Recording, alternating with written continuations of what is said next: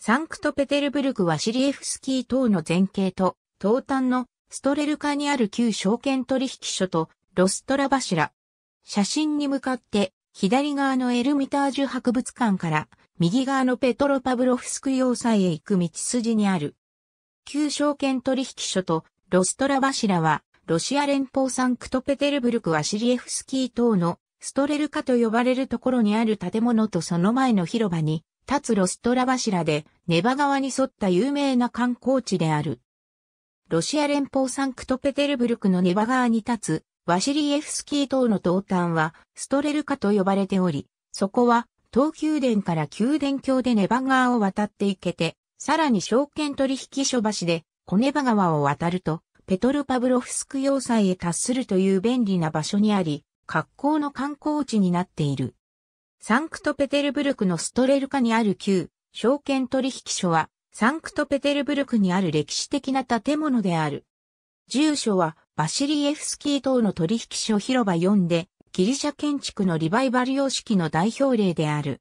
フランスの建築家、トマ・デュトモンの設計で、イタリアパイストゥムのヘラ神殿風の建物が1805年から1810年の間に建設された。しかし、後に使用目的が変わり、1939年から2010年まで中央海軍博物館になっていた。旧証券取引所の列中入り口旧証券取引所は東宮殿の真向かいにあり、ワシリエフスキー島の差しの空き地を埋めるために設置された。トマ・デュトモンの設計では、赤い花崗岩の巨大なスタイロベート基板の上に置かれ、44の通り屋敷支柱で囲むペリスタイルになっている。海洋省取引を象徴するネプチューンを特徴とし、クアドリガ馬車に似た形の記念碑的な彫刻群が中楼の上に取り付けられている。取引所の内側と外側の両方で半円のモチーフが繰り返される。内部には列中に囲まれた大きな取引場があり、現在8つの展示部屋に分かれている。中央の部屋は長方形の天窓で再興しており、天井は各館で装飾されている。ペトロパブロフスク要塞から見た証券取引所と海軍省証券取引所はピョートル大帝の直令により設立された。彼はアムステルダムの証券取引所に触発されて、当時のロシアの首都に証券取引所の設立を命じた。1767年、主建設委員会は、シレワフスキー等の差しの空き地を開発し、サンクトペテルブルク証券取引所を建設することを決定した。この地区には1783年から1789年までの6年間で、ジャコモ・クアレンギーの設計により、科学アカデミーの本館や倉庫など、様々な建物がネバ川の岸に建設された。これらの建物は、証券取引所を左右で囲んでいる。証券取引所の建物自体の建設は1783年に始まったが、1787年に中断された。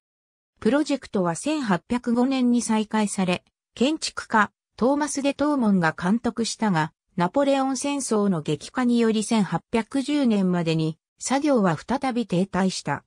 建物の建設は1826年から1832年の間に行われ、内装はワシリデムトマリノフスキが担当した。南と北の倉庫と税関の建物は建築家のジョバンニ・ルキニの設計で完成した。1913年から1914年にかけて、証券取引所の中央ホールに鉄筋コンクリートアーチを取り付けるなどの作業をマリアン・ペレチャトコビッチとヒョードル・リドバルが行った。中央海軍博物館時代の入り口1917年のロシア革命と共産主義経済体制の成立により、証券取引所は無用の長物となった。1939年、中央海軍博物館の拡大するコレクションを収容するために使われることになった。このコレクションは1709年にピョートル大帝が作った私的な模型室に起源がある。ソビエト時代のコレクションには個人のコレクションから没収された多くの作品が入っている。2007年までに連邦当局は海軍博物館を新しい場所に移動し、証券取引所の新しい用途を見つけることを検討してきた。検討された利用方法は、それをエルミタージュ美術館に移すか、以前の商業センターとしての使用に戻すことであった。2010年、市のアドミラルテークの労働広場にある改装されたクリウコフ兵舎に海軍博物館を移転する作業が始まった。旧証券取引所の建物は2011年6月に連邦所有からサンクトペテルブルク市に戻され、石油商品の取引所として使用することが検討された。これらの計画は最終的に2013年10月までに放棄され、市当局は展示ホール、会議ホール、コンサートホールなど他の用途を検討し始めた。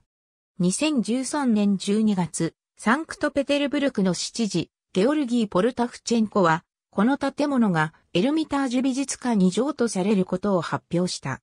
エルミタージュ美術館の責任者であるミハイル・ピオトルフスキーは、この建物を博物館の紋章の展示に利用されることを明らかにした。サンクトペテルブルクのロストラ柱取引所ビルの前は、デトーモンが半円形の広場を設計し、円形の傾斜路が川に突き出た桟橋まで下るようにした。そして、そこに一体の大きな戦勝柱の一種であるロストラ柱を置いた。ドーリア式の円柱は、花崗岩の台座の上にあり、深いテラコッタの赤い漆喰でコーティングされたレンガで作られており、ブロンズの怒りと4組のブロンズの選手で飾られている。座っている大理石の像が各柱のベースを飾り、それぞれがロシアの主要な河川を表しており、北側の柱はボルガ川とドニエプル川、南側の柱にはネバ川とボルホフ川である。本来方角を知るビーコンとして機能することも目的としており、もともとはギリシャ風の松明の形をした明かりが上にあり、石油を使っていたが、後にこの松明は取り除かれ、赤い穂祭りなどの際に点火されるガス松明が取り付けられた。ありがとうございます。